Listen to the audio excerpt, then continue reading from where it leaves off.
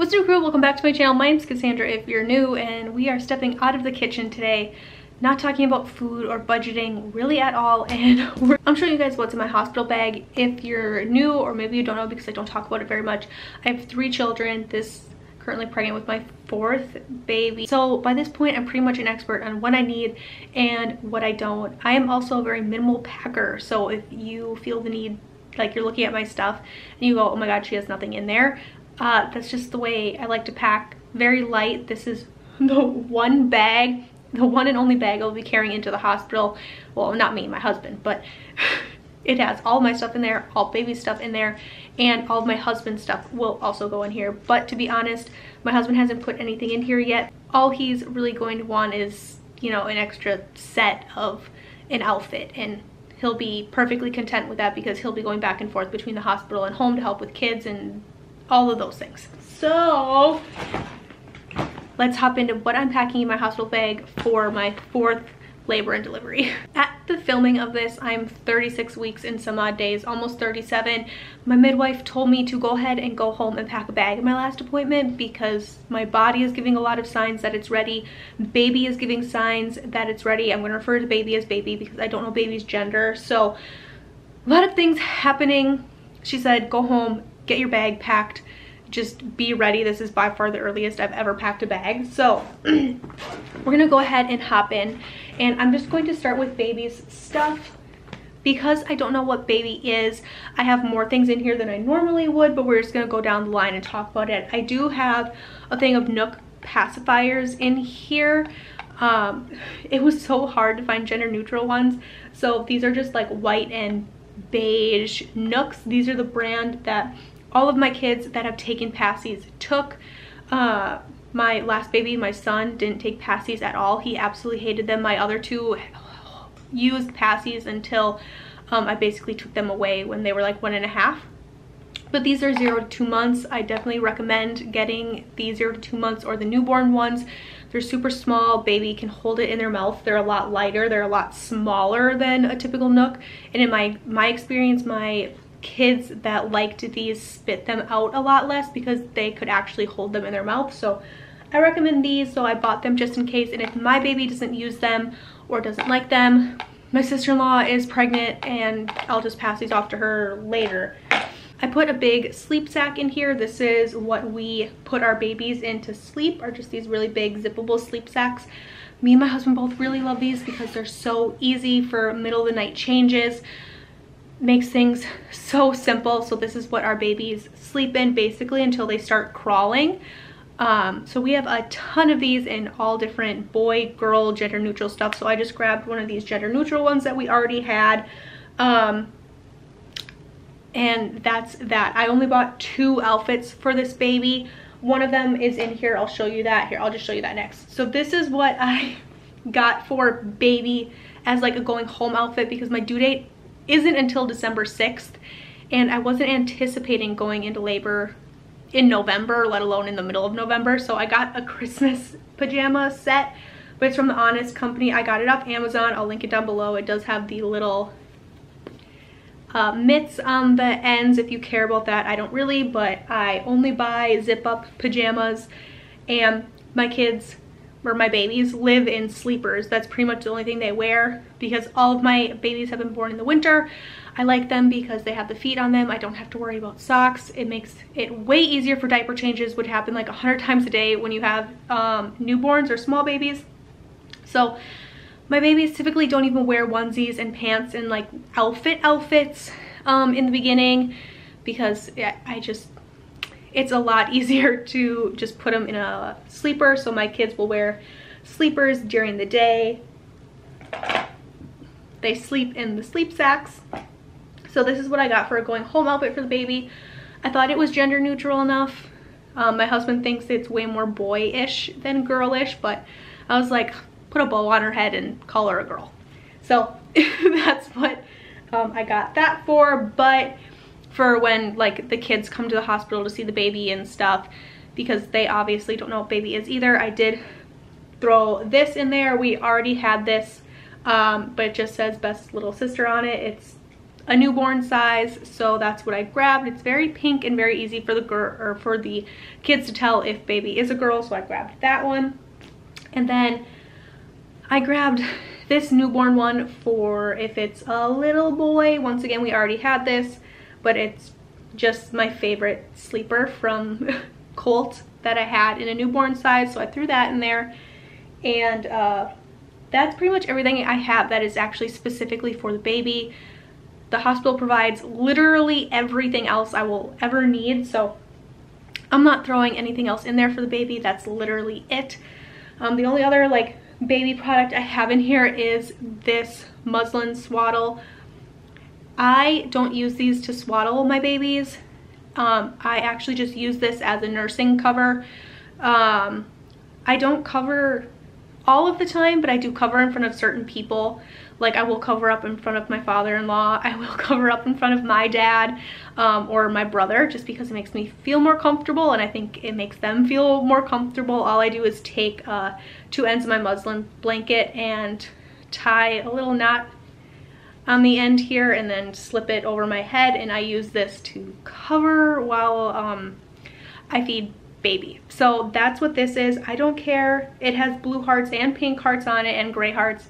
I don't think it matters. I've used this for literally all four of my babies. I have not gotten rid of any of my baby clothes or baby gear or anything. So this is what I'm bringing to cover for myself. Everything else in here is for me. We're going to talk about a couple of tips that I've learned along the way for myself um, just to help me feel better after labor. So I do have two nursing tank tops, one to wear in the hospital, one to wear home.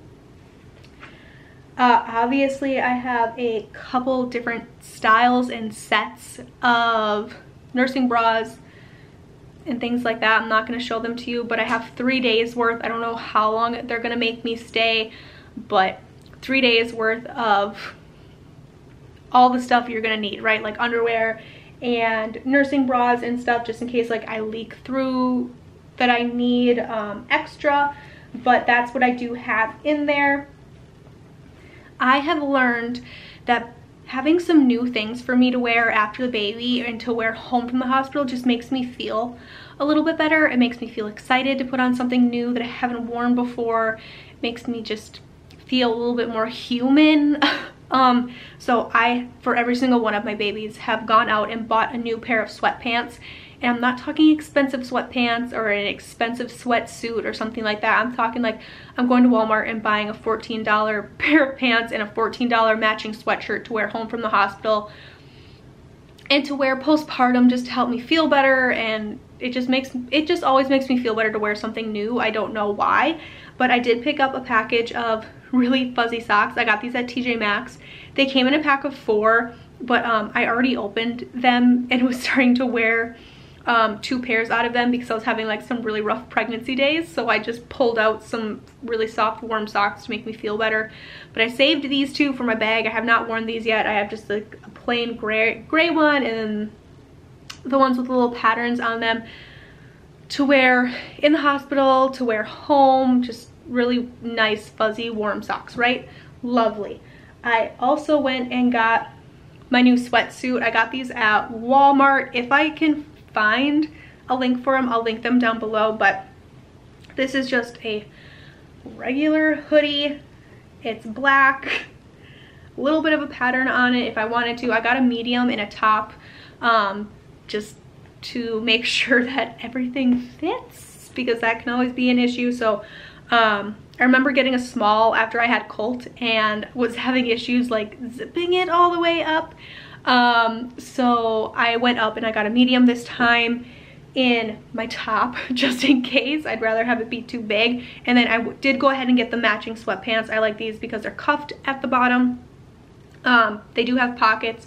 Super loose very comfy. I got a small in um, my pants because the mediums looked really really big even for me right now. So that is what I plan on wearing home from the hospital. My new sweatsuit with um, one of my nursing tank tops underneath, a pair of my really nice fuzzy socks. So this is my going home outfit. Um, it just helps me a lot to have something new and I'm excited to put it on. So moving on to some more practical things for while I'm in the hospital. I received this as a gift after my very first baby and I have brought it with me to the hospital for every single baby. I will link down below the what's my hospital bag video I did with Colt. Um, but I brought I bring this with me. It's just a sleep dress and it's long sleeved. It's fuzzy and it's warm. It's made of like cotton and felt. I don't know. Okay, never mind. It's polyester, but it's super soft. It's very comfy. And I love this because it gives you the convenience of being open on the bottom, like a hospital gown, because after you have the baby, you're sitting on all these different things, whether it be like ice packs or healing packs, witch hazel pads. Uh, there's just a lot of things going on down there and it's really convenient because you can get out of the hospital gown, you can wear something that feels a little bit more normal, that's like actual clothing but you still have it open on the bottom where you can just sit on your pad and let your body like release all the things that it needs to release, get everything that it needs to get out. So I love this. I bring it with me every time and I do not, I could not recommend getting just a regular sleep shirt or something uh, to bring with you to the hospital to sleep in, to do what you need to do in it does have the buttons on the top, so I do have to unbutton them to like pull it down to nurse. Um, but that doesn't bother me that much because it's so convenient to have everything open on the bottom. And the second I'm done laboring, usually I just want to take a quick cat nap and get the heck out of that hospital gown and take a shower. That's all I want to do. So the second that baby's out, I want to be out of my hospital gown. I hate being in it. It makes it feel so yucky to me. I don't know. I just don't like it. So this is really, really nice. I have two just regular t-shirts in here to wear while I'm in the hospital just to hang out in my hospital room and basically harass the nurses and ask them a million times when I can go home.